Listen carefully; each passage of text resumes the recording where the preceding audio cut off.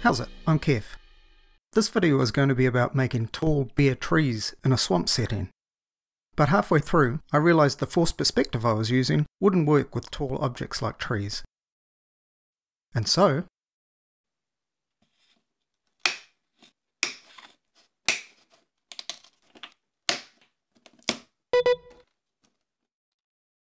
quick call to the Irregular Lumber Company, and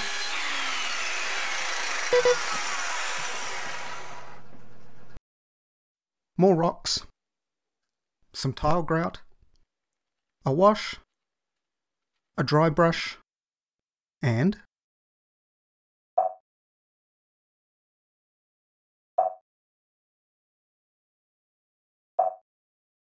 trees will be next time. Thanks for watching. Press the like button.